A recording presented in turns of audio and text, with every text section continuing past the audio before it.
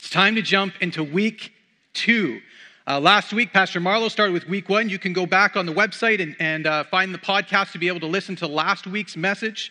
This week, we're going to be focusing on the historical books. Now, for those of you who are new or haven't been around for a while, this series through the Bible in seven weeks will take a 30,000 foot flyover of all 66 books of the Bible. So, if you do not yet own your own Bible, you are in luck because today is the day for you. At the end of this morning, the table in the back where you're going to see those booklets that were just handed out, there are also some really nice Bibles that we want to invest into your Bible reading. Uh, this is in a, in a modern version, so it's really easy to read. It's even, I'm not going to say it's leather bound because that's kind of a lie. It's bonded leather. It's like fake leather, but it's really nice.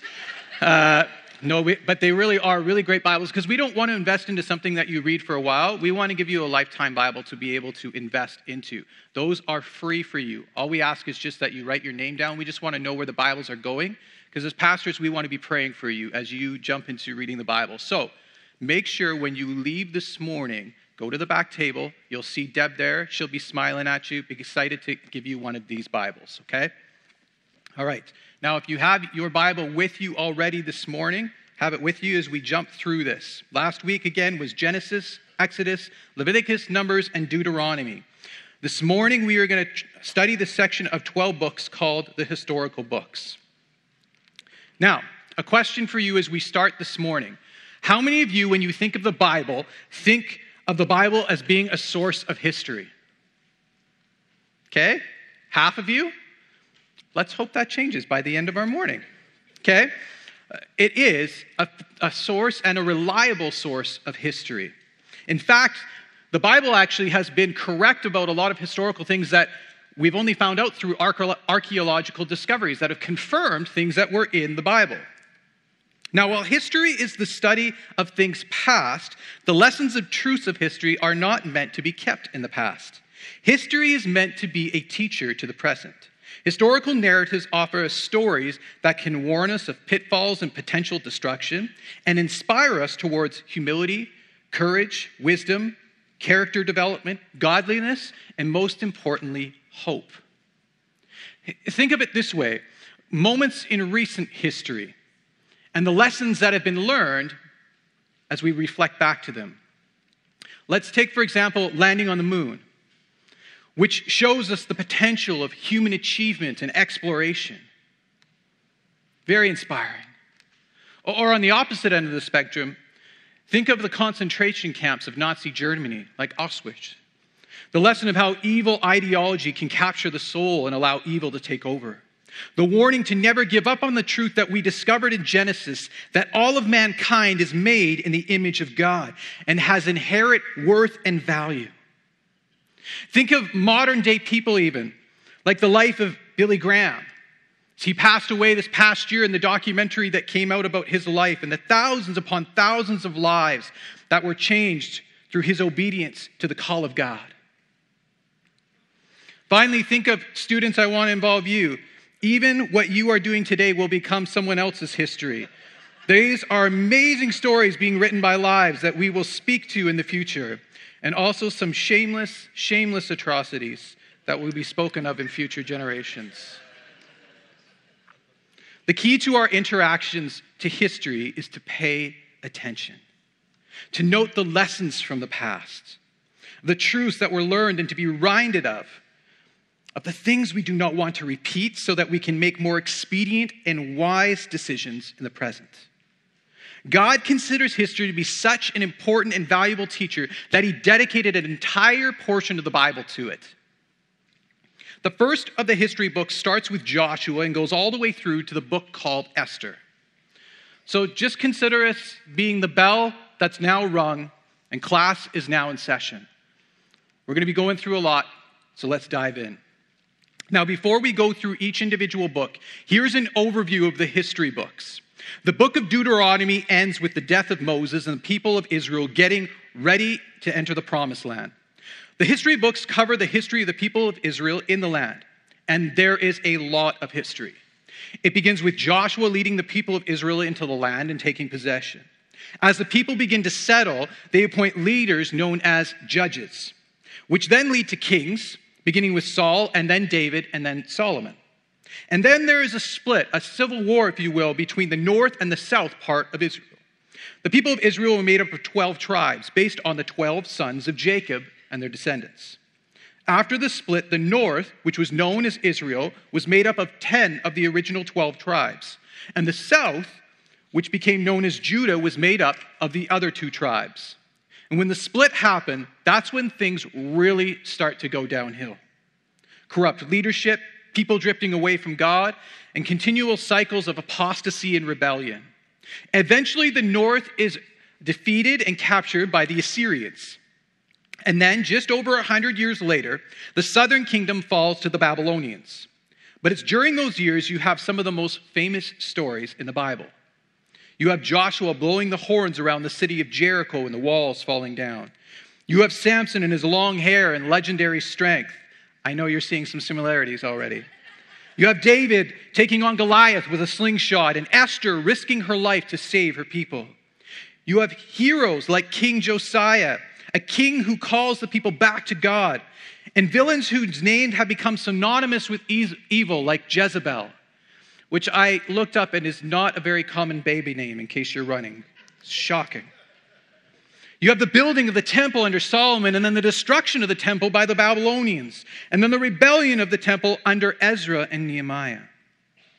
And while all this is going on, God unleashed the prophets onto the scene with names like Elijah and Elisha in the north, and Isaiah and Micah in the south. These history books are just a really great Fascinating read. So let's walk through a bit of it, beginning with the book of Joshua. Now, if the book of Joshua has a theme, it's possessing the land that God had promised the people of Israel. And it's a very interesting dynamic to remember that this was God's land to give, but the people's land to possess, which is a dynamic that is very true for our lives as well. God has given us so much if we will only possess it, reach for it, seize it, and accept it. It's like the gift of salvation. It's already ready for you that God has given it, but it's your choice to possess it, to receive it. Moses had led the people out of bondage, and Joshua completed what Moses began. The nation was led out by, uh, led out by Moses, is led into the promised land by Joshua. But it took some time. Though the land was distributed among the 12 tribes, they didn't take full possession of it. Or more accurately, they didn't finish conquering the people there in order to take full possession of it. That is until the time of King David. Now, there's a big question that gets raised in this portion of Scripture. What about the people who were already in the land before the Israelites got there, the Canaanites? Some people wonder about the ethics of the Jewish people suddenly showing up and kicking them out. And what about this God who says, I've got your promised land? And it's almost like he's ignoring the fact that people are already living there, not even considering that it's their land already. Well, that's not actually really the full story. First, let's state the obvious the land didn't really belong to the Canaanites, and it also didn't really belong to the Israelites. In fact, it didn't belong to anybody. It was God's land to give to whoever he wanted. He made it, and he could do whatever he wanted to do with it. If he wanted to give it to the Israelites, that was his right. But there was something else going on here as well. This wasn't just God giving something to the Israelites, it was also God's planned punishment of the people of Canaan for their ways. This punishment was very long in the making and in the coming. God was displacing them from the land to give it to the people of Israel. But that displacement came because of their ferocious, habitual, unrepentant evil. And I mean evil. They had given themselves over to the most fierce type of wickedness. The Canaanites were marked by the most uh, by the worst possible aspects of slavery. Not saying that there's positive aspects of slavery. But take slavery to the darkest place that you can, and that's where you find them. The worship of false gods, religious prostitution, and sexual cults. In fact, scholars have called the Canaanite cult religion the most sexually depraved of any in the ancient world, and perhaps the most depraved in all of ancient history. They had given themselves over to every kind of sexual depravity, including incest and even bestiality. At their worst, their orgiastic worship of idols even included human sacrifice, both of children and adults. There's even imagery of their cult sexual practices of bathing themselves in the blood of the adults and children whom they had slaughtered. The Bible says that God had been tolerating this for more than 400 years. Their wickedness kept increasing and increasing, and God continued to endure it. 400 years of restraint and patience, hoping that they would turn. Why? Because if you have not yet learned this, hear this now. No matter what you've heard, judgment is always God's last resort. But the wickedness had reached a point where scripture talks about how God couldn't stomach it anymore, and he vomited them out of his mouth. The Israelites taking the land was that divine, righteous judgment. This brings us to the book of Judges. So this is named judges because of the judges selected from the people to serve as overseers and rulers. Judges covers the time from the death of Joshua to when Saul was installed as king. Now, this is a very interesting time in Israel's history. They had spent a long time in slavery in Egypt, then went through 40 years of living in tents and wandering around as nomads in the desert. Now they were in a new land and were settlers for the first time in their lives. No longer nomads, but citizens. And it wasn't a very smooth transition. They had to adjust to a national life, and the transition did not go very well. Think of the equivalent. I remember reading a story a couple years ago about a woman who had grown up in the jungle being raised by wolves. It was a true story. You can imagine when she finally came into human contact and moved into a city in South America, that was a gigantic adjustment. These nomads, these people who were constantly on the travel, suddenly had a nation of their own, and with that came a lot of unforeseen challenges to them. Some have called Judges the account of the dark ages of Israel. And it is true that in this part of their history, we see the constant ritual abandoning of God. The heart of what went wrong during this period can be found in a sentence that you read in the book of Judges over and over again. It's just one line that the author keeps repeating as you read about what's going on. And here it is straight from the book of Judges. In those days, everyone did as he saw fit. It was an attitude. I'm not going to answer to the God in heaven. I'm not going to care about other people. I'm going to do what I want to do and what I see as fit. I am my own morality. I am my own truth. I am my own everything. This Does this not sound familiar? And when you read Judges, you see that one line over and over again. So God, attempting to get them to turn around, would allow them to fall into the hands of other nations. Then, while under the oppression and persecution, they would come to their senses and cry out to God for deliverance. Then God would raise up a judge who would do just that. Judges with names like Gideon and Samson and Deborah. And for those of you who think God only used men in the Bible, and especially the Old Testament, check out the story of Deborah in Judges 4. Then, once rescued, the Israelites would go right back to their old ways. It's a sad, sick, ongoing cycle throughout the book.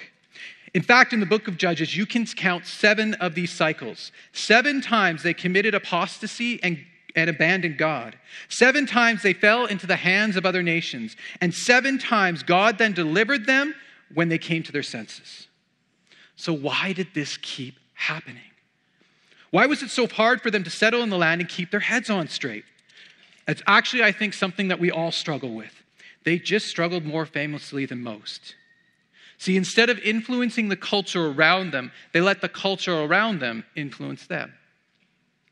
They began to worship the false idols of the Canaanites. They began to accept the morals, the laws, their values, their standards. They were supposed to possess the land and lay claim to it, but they allowed the land and its people to possess and lay claim on them. This is key to why God has so much history in the Bible. It's because the history is there to teach us what to do and what not to do. Do you lay claim, claim to the promises of God in your life? Or do the things of this world, money, prestige, comfort, power, lay claim on you? It's against this backdrop we then jump into the events of the book of Ruth. We don't know who wrote the book of Ruth. Most scholars tend to think it was Samuel, but it's a wonderful story of the woman who would prove to be the great grandmother of King David. It's considered one of the great stories in the Bible of love and faithfulness and commitment and courage. And it's also a mirror of God's redeeming love for the world and how through the Jews, the entire world, including the Gentiles, would be adopted in. Ladies, no cheesy romance novel or Hallmark, Hallmark movie is needed. Ruth provides one of the great love stories in the Bible between Ruth and a man named Boaz. Now let's move on to 1st and 2nd Samuel, which is actually one book in the original Hebrew text, just as 1st and 2nd Kings is actually just one book, and 1st and 2nd Chronicles. The reason we refer to them as first and second is because when the Bible was translated into Greek, they were put on standard scrolls. And these books were too long to fit onto the scrolls because the Greek language took up more space to write than the Hebrew language. So they simply put them on two. And they came to be known as the first scroll of Samuel and the second scroll of Samuel. And it just kind of stuck. But you really should read these as one single book. Now, with the book of Samuel, we begin the royal history of the people of Israel. The move from judges to kings, such as Saul, David, and Solomon. Collectively, they cover about a 500 year period around 1050 to 586 BC. Samuel is a wonderful book. It carries the name of its author, Samuel, who was a remarkable man and was a true hinge in history. Now, if you study much history, you know that one key to study is to go through and look for what are called hinge moments or hinge people and events. And if you want a classic example of finding in one person a real hinge in all of human history, Samuel would be it. Samuel was the last of the judges, he was the first of the prophets, and he was the one that God used to institute the monarchy, of the kings of Israel. He really was a linchpin for all of this. His record in the Bible is without blemish. It is hard to find a single mark against him. What we call 1 Samuel can be divided according to the names of its three primary characters. Chapters 1 to 7 deal with Samuel himself. Chapters 8 to 15 deal with Saul, the first king, and chapters 16 to 31 deal with King David. And it's all written in the style of a biography, which makes it an easy read, and it gives us some of our favorite stories. Samuel as a boy, and David and Goliath, and the friendship of David and Jonathan. Now, I mentioned that Samuel was the first prophet. This really does mark a new era in how God dealt with the people of Israel. From this point forward, God would call out prophets, prophets through whom he would speak his word and communicate with people. Another key development in the book is how God had Samuel start the monarchy.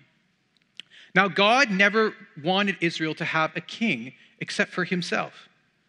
Great leaders, yes, but leaders who would receive their orders and directions directly from Him.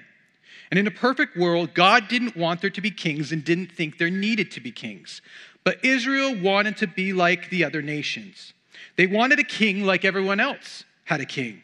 And God eventually gave them one because they said they had to live, or, but said they had to live with the consequences of it. Now, as we enter into an election period, if you're a person that is getting tired of seeing road signs on the side of the road already, just know this that wasn't God's plan. Maybe you see a road sign like this. I like this one. But God's plan wasn't for those leaders. But yet, that was something that we asked for. Now, I want you to know this from the from the front of Eaglemont, you will never hear myself or one of the other pastors ever tell you who to vote for. That's something we ask you to pray for, and I just want to take this moment to encourage you to do that in the weeks to come. I am going to put a plug because I did see this next poster, and given his kind of resume, I would endorse him. He looked good. Can you give the next one? For those of you who get that joke, you're going to have that song running through your head the rest of the morning. But government was never actually God's plan. Kingdoms, the, the kingship was never actually the plan of God. He wanted to be the king solely. But because the people begged, he gave it. Now, the first king that Israel got was Saul, and he was not a good king. He could have been, but he gave into pride. And he was almost insanely jealous over David, who would end up being the next king. And he tried to kill him five different times. Just so you know, usually if you try to kill someone five times, it's probably a mark that you don't like them. But much of what Saul did to get rid of David actually made David the great king he would become. He learned to fight, he learned to lead, he became independent, and most of all, he learned to trust God. And that's where 2 Samuel kicks in. It's the failure of Saul and the wild success of David. And the Bible gives David one of the highest accolades of all of Scripture. It says this that David was a man after God's own heart. It doesn't say that he was perfect. In fact, David was far from it. If you know anything about David he, David, he had some epic failures. In fact, in your readings from this week, we see a colossal moral failure on David's part in 2 Samuel 12, 1 to 5. So you're going to be reading that if you haven't already. As David has an affair with another man's wife. Then he has that man killed at war to cover it up. And one of his advisors eventually has to challenge him over it. David was no saint. But here's the key to David and why he was known as a man after God's own heart. When he sinned, he confessed it, he became repentant. And in fact, that's actually what matters most. He had a tender heart toward God in relation to his sin. It was because his heart was fully God's. He looked to God, he trusted God, and he hungered for God. And that's what separated him from Saul. Both were kings, and both served 40 years. But Saul was an unrepentant sinner. David was a repentant sinner. And that's why what God cares about and what separates people God can use and those he can't. So, a question for you this morning Are you a repentant sinner? Are you a person who makes mistakes but confesses and turns to God? Or are you justified in your own self righteousness? Do you just explain your way out of it? David really is a pivotal character. He is the halfway point between Abraham and Jesus in terms of God's redemptive plan. Abraham began the chosen people. David formed them into a nation, and Jesus would come from the house and the line of David to be their Savior. So let's move on to Kings and Chronicles. And I don't want to lump them together because they cover much of, or I want to lump them together because they cover much of the same period, just from different standpoints and emphases. Kings is really just a continuation of Samuel.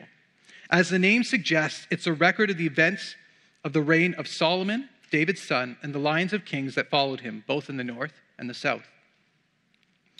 Before it was over, the north would have 19 different kings, and the south would have 20 different kings. It covers about a 400 year uh, period of history. Through Solomon, we see the growth of the kingdom and later its decay. We see the kingdom divided, and then eventually both the north, which is Israel, and the south, which is Judah, led into ca- captivity. Kings opens with David as king of Israel, but ends with the king of Babylon conquering it. It opens with the building of the temple, and it ends with the destruction of the temple. And it is during this time that you have the great prophets, such as Elijah. You get to read about him, if you haven't already, this past week in 1 Kings, who do amazing things for God. It's kind of a downward spiral through the book, and it's kind of depressing at times to read, but yet it's intriguing. It has much to teach us. But make no mistake, it really starts off great. Solomon did not, did not honor God through his entire life, but he started off really strong.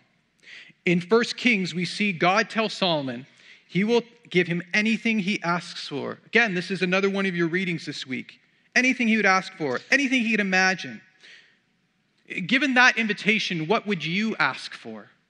What would be your request if God said anything? If you, if you need a modern day illustration, you are Aladdin. You get your wish, anything you want, what would you ask for? And as you, in your readings, you'll see this week, Solomon asked for wisdom, and he received it. He later built the temple. He built the nation into the premier power of that part of the world. So much so that even the Queen of Sheba was speechless at its grandeur. But he fell into pride and eventually into idolatry. But that isn't actually what split the kingdom. Why did the 10 tribes separate from the two that were in the south? Two words Solomon's son. The guy was politically clueless and screwed things up about as bad as anyone possibly could. Here's what was going on there was a lot of pent up resentment among the people over high taxes and forced labor. Solomon's son, Rehoboam, gathered some counselors and leaders together and said, What should I do? And they said, Listen, you want the people to love you, you want to have a long reign. Do you want to make the transition seamless between you and your father? Just back off the taxes a little bit. Back off on the forced labor a little. The people will love you for it. But Rehoboam didn't listen to them. He listened to his own friends who just said what he wanted to hear. Essentially, they don't like taxes, they don't like forced labor. Let's up the taxes, let's make them work even harder. As you can imagine, it didn't go over very well. The 10 tribes of the north said, We are done with you. And civil war broke out and they separated off, and that was the end of the unified people of Israel. Rehoboam's power base, including the capital city of Jerusalem, was in the south. There had already been centuries of tension between the south and the north that was tribal in nature. So when this happened, the north just took their toys and went home and left for the south to fend for itself. So if you look on the screen, you can see how this divided up about the kingdom of the north and the kingdom of the south. The north became known as Israel, and the south again, which included the tribes of Judah and Benjamin, became known as Judah. In the end, the Assyrians captured and took the ten tribes who never returned to the promised land. The south was also captured, but by the Babylonians, who were eventually defeated by the Persians, who did allow the Jews to return and reestablish themselves, but we will get there. So the Jewish people today are essentially the descendants of only the two tribes, which is why they became commonly known as Jews, taken from the name of the tribe of Judah. And much of what the rest of the Old Testament records circulates, circulates around these times.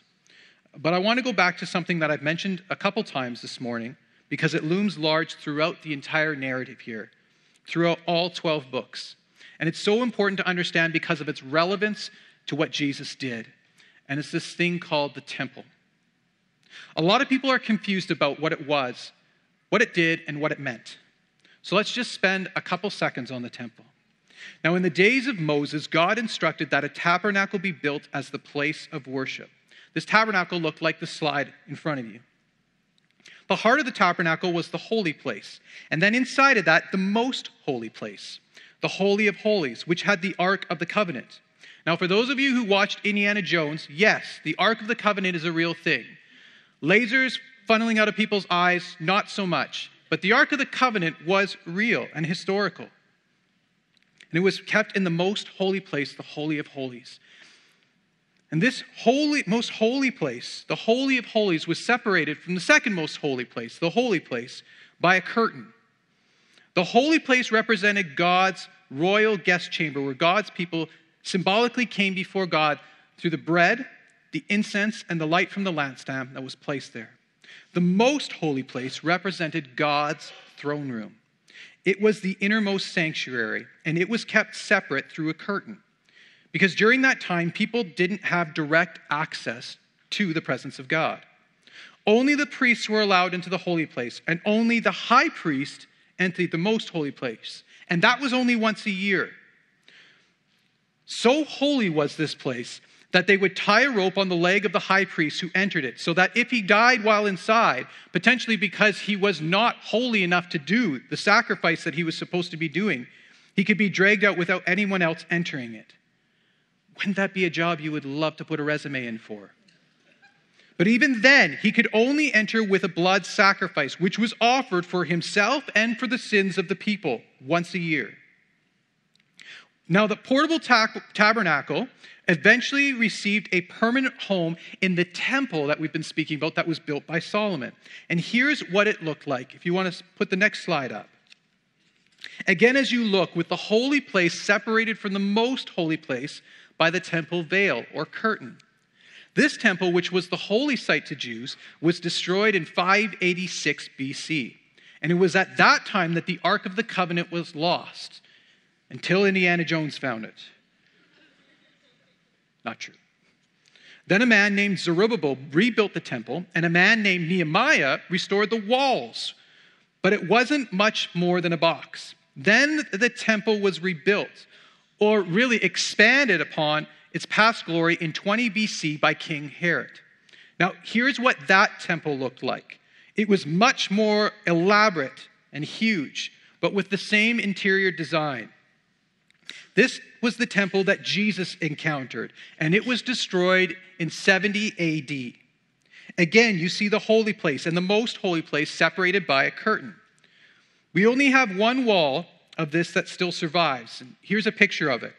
You may have heard about it on the news. It's called the Wailing Wall or the Western Wall.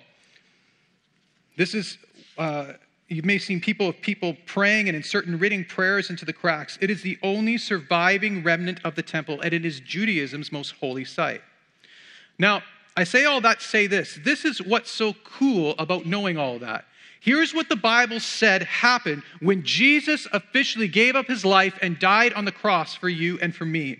In Luke 23 45, and suddenly the curtain in the sanctuary of the temple was torn down the middle.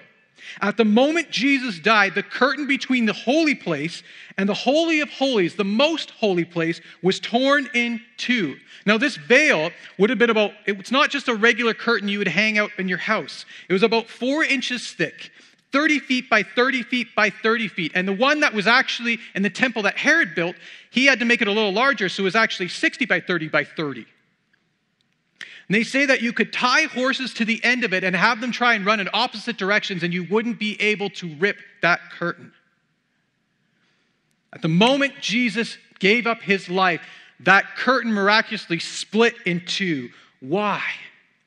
Because as the book of Hebrews explains, Jesus at that moment became our high priest. He entered into the most holy place on our behalf only with his own blood.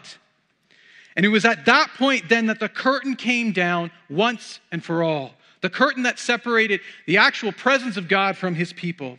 From that point forward, no priest would be needed to voice prayers on our behalf or to serve as mediators between our lives and God's. No longer would we need to go to a temple and sacrifice idols. The ultimate sacrifice had been made. And everything that began with Moses and the sacrificial system had reached its fulfillment and completion in Jesus. And now we're able to go directly into the presence of God through Jesus Christ, directly to the throne in prayer.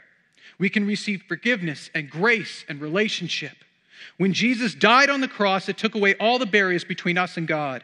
And here's how the writer of the New Testament book of Hebrews puts it So, friends, we can now, without hesitation, walk right up to God, into the holy place Jesus has cleared the way by the blood of his sacrifice, acting as our priest before God.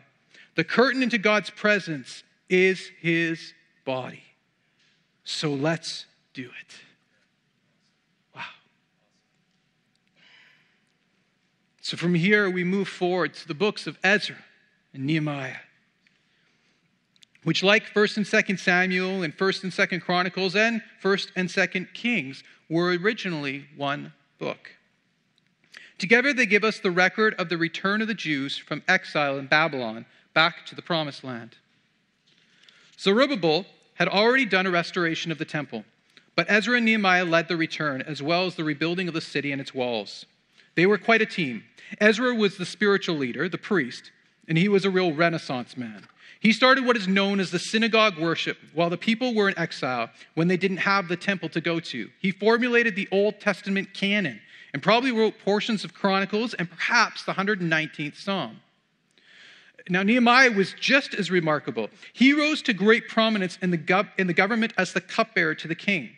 And I know that job doesn't sound very glamorous and actually sounds quite menial, but believe me, it definitely was not. A cupbearer was one of the highest positions that you could have. It was his job to give the king whatever he drank, meaning he was the one man who was tr- most trusted not to poison the king. So essentially, he was the equivalent of the chief of staff. He was the organizer, the one with political and economic connections. And together, he, they did a great work, and those books tell their story. Finally, lastly, this morning, that brings us to the book of Esther, the end of what are called the historical books, which, while it follows Ezra and Nehemiah in the Bible's table of contents, it's actually chrono- chrono- uh, it's easy to say, isn't it? Chronologically took place before then. In fact, its place in history is interesting. Now, has anybody seen the movie 300? Sheepishly, one guy says yes, and everybody else. I'll ask again Has anybody seen the movie 300? Any guys? Okay, all right. Now, there's a tie in here. If you've seen the movie 300, the whole thing is about Xerxes, who attacks 300 Spartans and they hold him off. Now, that Xerxes from the movie 300 is the same Xerxes that you see in the book of Esther. So, men, if you want to watch 300, you can just tell your wife you're doing some historical study on the book of Esther. Now, Esther is the story of a beautiful Jewish woman who is selected to be the queen for the, uh, for the Persian king Xerxes. She then uses her position to save the Jewish people from genocide, which we see later that same Jewish people would eventually take the land that was promised to them. And eventually, through Jesus, we see the ultimate promise that was made to the Israelites that salvation, life, and grace would be received through all the world through Abraham's offspring, through Jesus. So, there you have the hist- history books. This brings us to the end of our class this morning. Now, a couple things again I want to encourage you with before we close in prayer. If you haven't yet, grab one of the guides in the back and participate in the readings this week. If you're able to join a small group, please do. I know there's many of you who are. But if you haven't been around for the last couple weeks, haven't been able to do that, or you just felt shy about doing it, there's still room for you and we want you there. If you're not able to do that because of whatever reason, still grab the study guides. Participate in this in us, with us as we go through this entire journey of the Bible. Those are available in the back as well as a Bible that we have for you please take it and most importantly, use it because you're going to find so much life through it. I'm going to ask if you'll stand with me. And if you would this morning, I'm, going to ask as you, if you've been here at Eaglemont for any length of time, you've probably noticed that pretty much every Sunday we give an invitation for someone who does not yet know Jesus to come to know Jesus. And there's a reason why we do that. It's because there's nothing greater you can do with your life there's nothing more important, and we don't want to ever miss the opportunity for someone to make that decision. So, churches, we pray this morning, I'm going to ask everybody just to close your eyes. And if you are already a follower of Jesus, I just want you to pray for those who maybe haven't been able to make that decision and they don't know Jesus yet themselves. We want to give that opportunity.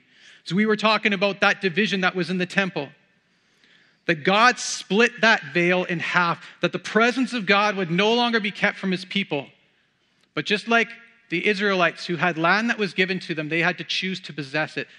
You have to choose to take that gift that God has for you, which is that for God so loved the world, he so loved you, he gave his only son, that who would ever believe in him, invite them into their life, he would give eternal life. He would forgive their sins. That's an opportunity today. If you've never been able to make that decision, if you want to know for sure, yes, I want that God, that Jesus to be in me, that life. I want to be free from the things that have trapped me in my life.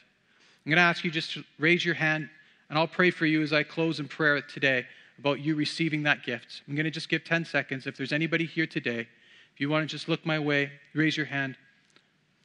I'm going to pray for you. Yes. Thank you in the back. Five more seconds. Anyone else want to join? Way to go. Way to go. Church, will you join me in prayer? that's you, raise your hand today, or others who maybe you just, right now even, you just, I don't want to miss it. I just want you to pray these words Heavenly Father, thank you for loving me. Thank you that you wanted to be with me.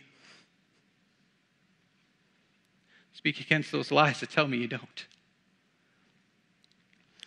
I've got a lot of stuff in my life and I'm having a hard time putting it together. I know I've made mistakes. So I ask, would you forgive me? Jesus, would you clean my heart and come live in me? Give me the life that you want for me. Help me to live for you. To not make the mistakes of those who've gone before. Help my life be about what you want. Thank you. Bible says your life is changed forever with that confession. This morning, Lord, I just pray for us as a church. May we not simply be a footnote in history of those who have just repeated the cycles of the past, but may we learn from those who have gone before and may we change. May we make decisions differently. May we not be like those in Judges who simply did what everyone saw fit. But Lord, I pray as we dive into your word, where we see that it's not there to limit us, but rather your word is to give life and show us, Lord, what is most for us. Help us to walk into that. And I just pray this week as we go in our groups, as we discuss, even online, as we have conversations, as we were with people at work and at school and at home, God, may we have life giving, true conversations. May you change us from the inside out, and may your word come to life in us and through us. I pray in the powerful name of Jesus. Amen. Amen.